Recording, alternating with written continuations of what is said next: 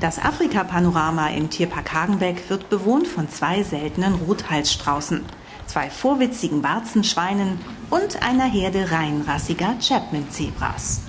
Hengst Frank und seine vier Stuten Yassi, Vicky, Gypsy, Sharina und, voilà, dem nur wenige Tage alten Neuzugang Nana.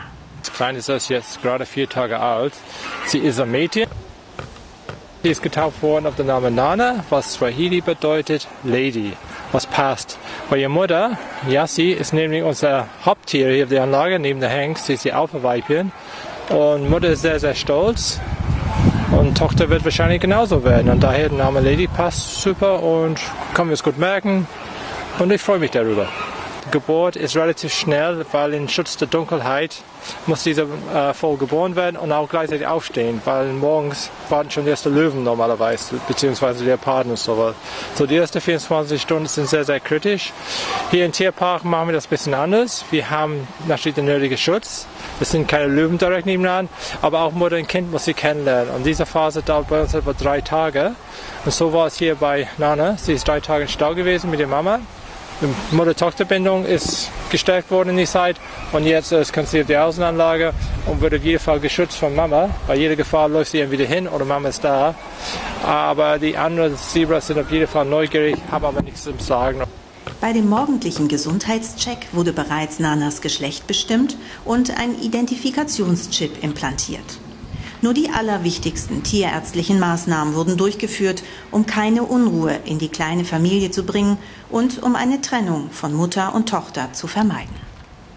Etwa 30 Kilogramm wiegt ein neugeborenes Zebrafohlen, während die ausgewachsenen Tiere je nach Geschlecht zwischen 175 und 300 Kilogramm wiegen können. Aber die spontanen Boxsprünge des kleinen Zebramädchens sind ohnehin aussagekräftiger als sein Gewicht in Kilogramm. Außerdem gelten Zebras als ziemlich gefährlich, nicht nur, weil sie scheu und wehrhaft sind. Es sind immer noch wilde Tiere. Noch dazu Fluchttiere. Das heißt, jede Trennung ist für Mutter und Tochter in diesem Fall sehr, sehr stressig. Denn Stress passt so gar nicht in die afrikanische Steppe. Weder zu den Warzenschweinen noch zu der Teichhuhnfamilie, die ihre Jungen im Teich davor großzieht. Doch der Star des Afrika-Panoramas ist jetzt die kleine Nana. Und sie lehnt sich an starke Schultern. Schließlich ist Mutter Yassi das dominante Tier in diesem Gehege. Yassi ist unser Alpha-Weibchen, das heißt, sie ist sowieso der Nummer 1 hier drauf. Äh, Chapman Zebra lebt in Familienverbände, das heißt ein Hengst und mehrere Stuten. Und Yassi entscheidet im Grunde immer, wo die Gruppe längs geht. Sie entscheidet auch, wer zuerst fressen darf. Der Hengst läuft einfach mit. Yassi eigentlich ist ein super Tier, aber lässt sich von niemandem was sagen schweige die Warzenschweine oder Straußen, was auch noch hier drauf sind. Sie ist auf jeden Fall das dominante Tier hier. Wir reden immer von der Hengst ist dominant, aber Tatsache die Frauen haben mehr zu sagen als der Hengst. In zwei Monaten erwartet Reviertierflieger Toni Kershaw noch ein zweites Fohlen. Bis dahin hat sich Nana bestens eingelebt und kann einen kleinen Spielkameraden prima gebrauchen.